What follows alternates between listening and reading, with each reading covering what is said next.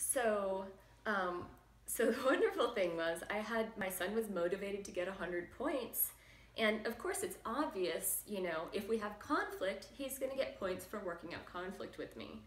But I've gotta say, we didn't have a whole lot of conflict after that.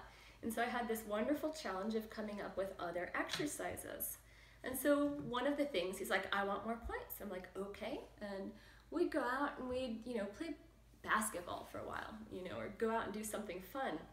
And so then for points, I would, I'd pull out this deck, right? This is the emotions connected to met needs. I'd pull out this deck and I'd say, okay, now um, I want you to just go through these cards and let me know what feelings do you have after having played basketball?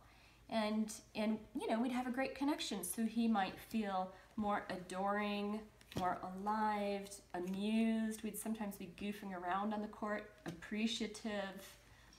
Um, what else? Maybe delighted.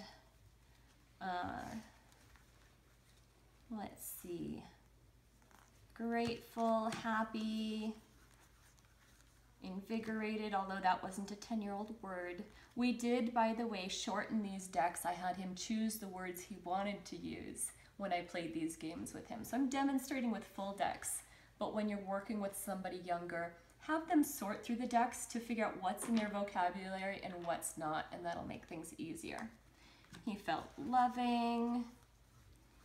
He was pleased. Maybe he was proud because he improved a skill, right? He might have felt satisfied in a way.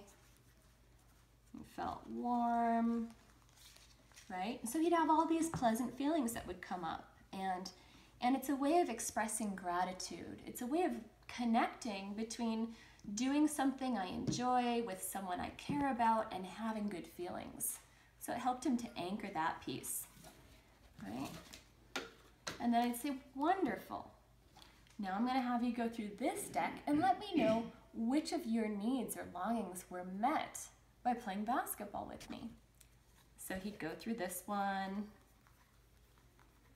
Maybe there was some learning in there, certainly movement and exercise. Uh, what else? Some closeness, some challenge. Hmm. Some celebration. Participation, right? Partnership. And so he'd start to identify what were the needs that were met. Laughter, choice, some freedom, adventure, fun, friendship, joy, connection, appreciation, caring, understanding, play, love, family.